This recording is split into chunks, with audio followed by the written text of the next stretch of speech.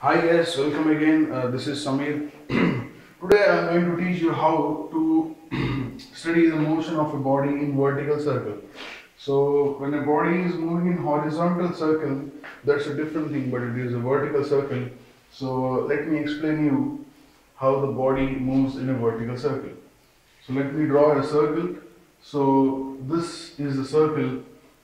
Uh, this is a vertical circle along which the body moves. So in body which is moving in vertical circle, there are so many things to be noticed. Now, in this section, I am going to teach you how to find out the velocity, tension at any point in the vertical circle.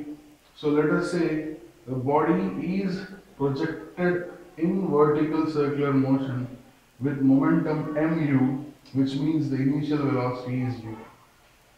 Let L is the length of the string, T is the tension in the string, the weight, a component of weight is acting downwards, which is mv, and there is one more force called the centripetal force.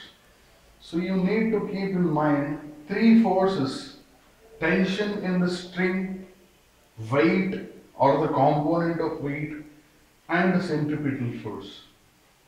Now, let's say after a time body reaches this point making an angle theta with the vertical.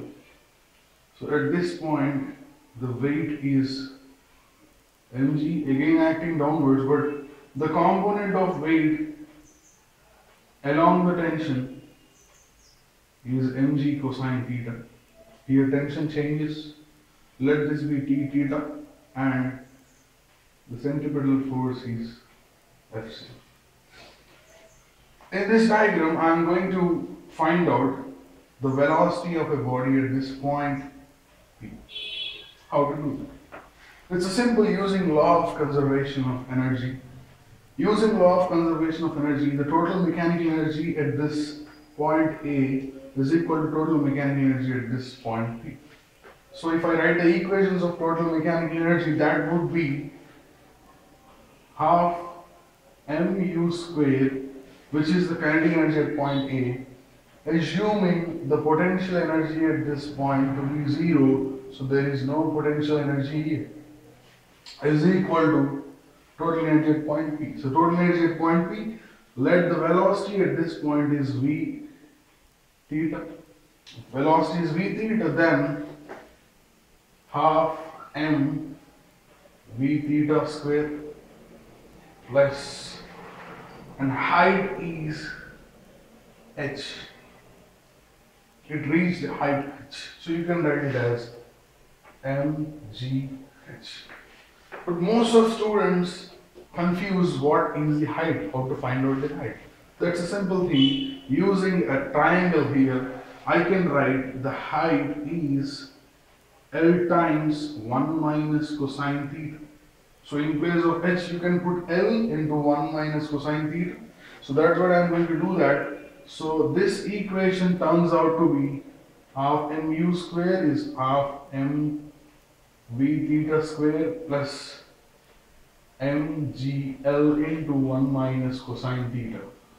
Since I'm trying to find out what is v theta, then if I do a substitute, if I do the calculation, and I put v theta as subject, then I would get v theta square is equal to u square minus 2gl into 1 minus cosine theta. Since mass gets cancelled, then v theta would be root over u square minus 2gl times 1 minus cosine theta. So you got the velocity at this point. If you get the velocity at this point, and finding out tension is very simple. You can do that in this way. So I want to write it here that T is equal to, T at any point theta is equal to mv theta square by mv square by r which is radius so I can write it as mv theta square by L plus mg cosine theta. So you can write the equation for tension also you can write velocity, you can write total energy, you can write potential energy, you can write kinetic energy. So whatever you want you can write.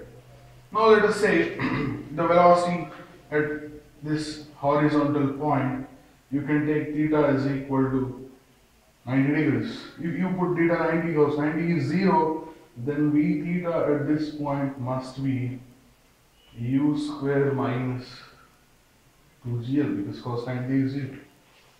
And here this turns out to be 0 again.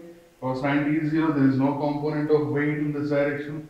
And V theta you got u square minus 2gl. So you can write the tension at this point, let this point be B, is equal to m v theta square by L plus this term is 0 but v theta square is u square minus 2gl you can write m into u square minus 2gl over L. So this is how you find out the tension. You go at the highest point, the highest point is uh, theta is equal to 180 degrees at the highest point.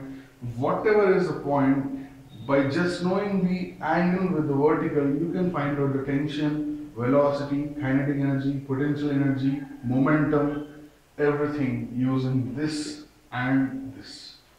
So hope this has cleared you few doubts in motion of the body in vertical circle.